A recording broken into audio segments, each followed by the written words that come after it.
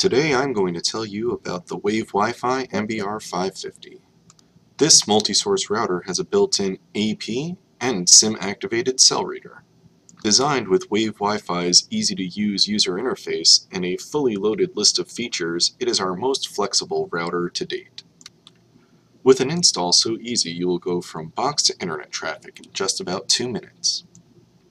Simple enough to work with small network setups, but robust enough to handle larger networks. The flexibility of the MBR 550 wireless router is quickly making it one of the most popular routers in the marine market. Controlling the MBR 550 is as simple as a click or a tap. With its browser-based UI, you can manage your network, change your connections, or even boot users from your network without ever leaving the user interface. The MBR 550 is easy to set up and easily configurable with features like browsing-based management, easy switching from manual to automatic source settings, shown amounts of data usage by port, by user, and by login, manageable user access codes set either by individual or groupings, bandwidth limits and data capping, white and blacklisting of MAC IDs, and a guest network port setup.